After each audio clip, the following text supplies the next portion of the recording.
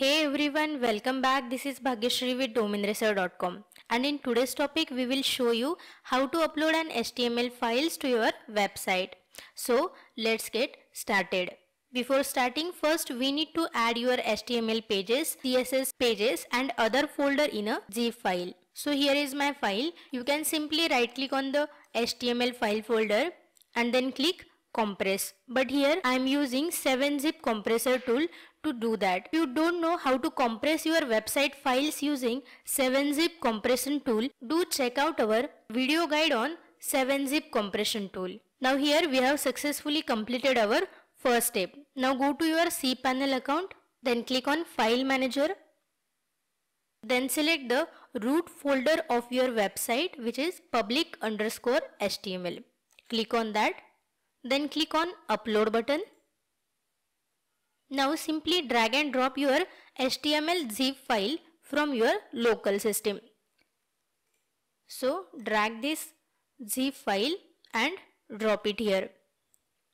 While uploading your HTML files to the website, make sure you don't overwrite any file because it will crash your existing website.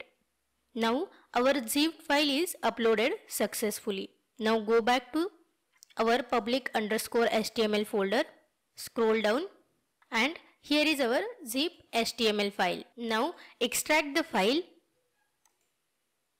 click on extract file and close. Now go back. If you want to delete the zip file, you can delete it. To delete the file, just right click and click on delete. It won't affect your extracted HTML pages or any other folders. Now open the extracted folder, select the files and move this file to our root directory. Here click on move file. Now go back and here we have successfully moved this file to our root folder. Sometime it can causes you a 404 error if you simply uploaded your HTML pages and tried to access it. Now here we completed all steps. We successfully uploaded, extract and moved our HTML file to the website root directory. Now let's preview our HTML pages. Now here in Google Chrome open new tab, enter your domain name slash your HTML file name. Then hit enter button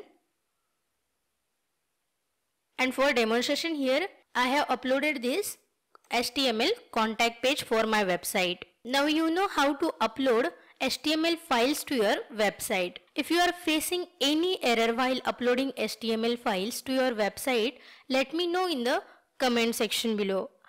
I would be happy to help you. And if you find out this tutorial helpful, make sure to hit the like button below and subscribe Domain Racer to get videos on your request.